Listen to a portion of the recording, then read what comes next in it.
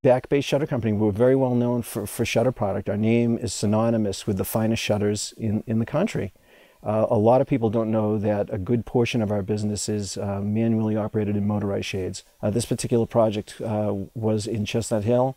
It's a guest pavilion. The architect was Ivan Bereznitsky, and the designer is Susan Reddick, who's a fabulous designer.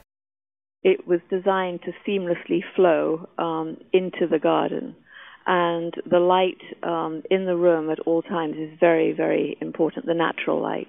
We needed to be able to provide some sort of shading. So we came up with the idea that we wanted something subtle, subtle and soft that wouldn't detract from the architecture, um, which could also be hidden in pockets when, when not in use.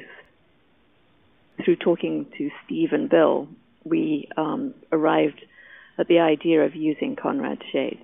When you get to looking at plans, you have to take all things into consideration uh, door handle protrusions, uh, molding projections, uh, things of that nature, and all those come into play because, especially on a shade like this, which is hand woven, you have one chance to get it right.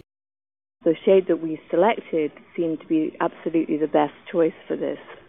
We represent family run, smaller workrooms from around the country and have full control over quality.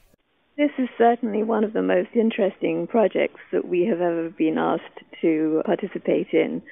It was a true team effort. Our clients use the garden pavilion every day in all seasons, and our clients are thrilled with the end result a serene and very highly functional space.